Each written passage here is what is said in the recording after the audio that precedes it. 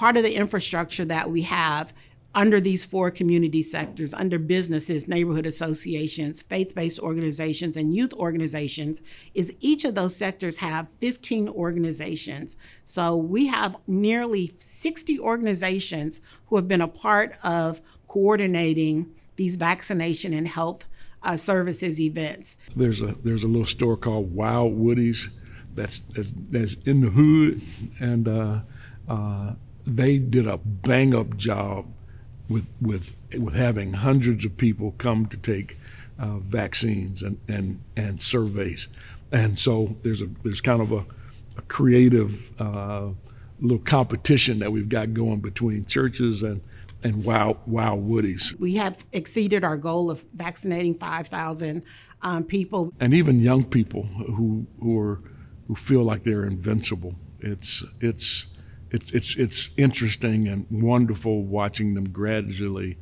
come around. And he was probably only about 18 or 19 years old. And he said, I have several concerns about the vaccine, about how fast it was, you know, developed. And, you know, I've heard all of these rumors about it. And so, because at our vaccination events, we have physicians there, we have pharmacists there, I was able to take them over to our lead pharmacist. And they sat and talked probably for about a good 10, 15 minutes. And then he came back and he was like, I'm ready. I'm ready to get vaccinated. And I think that's the power of being able to have these services available, readily available in the community. The big elephant in the room is is trust. Do I do I trust you? Do I trust that the information that you're given is right? Do I trust uh, that the, the vaccine's not going to make my head swell up? We've been able to knock down some uh, of the, the conspiracies and, um, help people trust. People think that we should be mm, spreading the gospel. Uh, it's hard spreading gospel to dead folks. Uh, we, we need people to be alive, active, uh, moving, prosperous.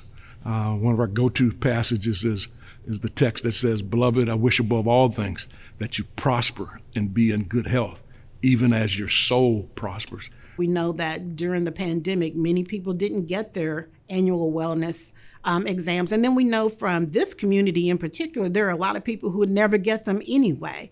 And so this again provided them with that opportunity. We had one woman who came and she was like, I'm fully vaccinated. I just showed up because I needed to get my blood glucose checked today.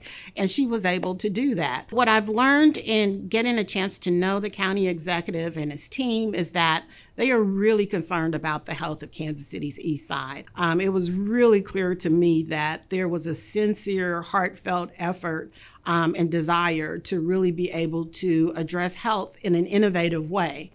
Well, I think this is one of those have tos. Uh, there, there, there are just times when, when you have to. You have to do it, but you don't have the political will to do it.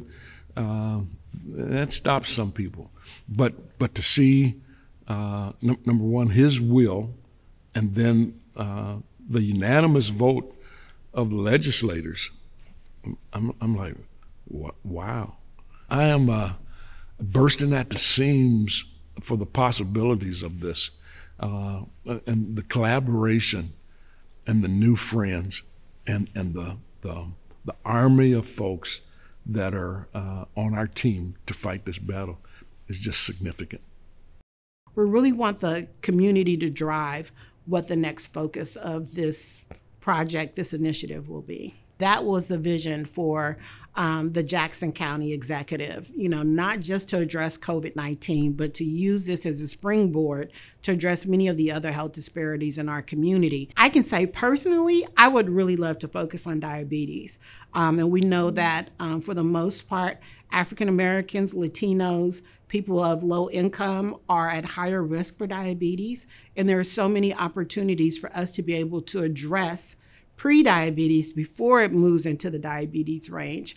I am not sure if, if, this kind of cooperation is happening in other uh, cities around the country.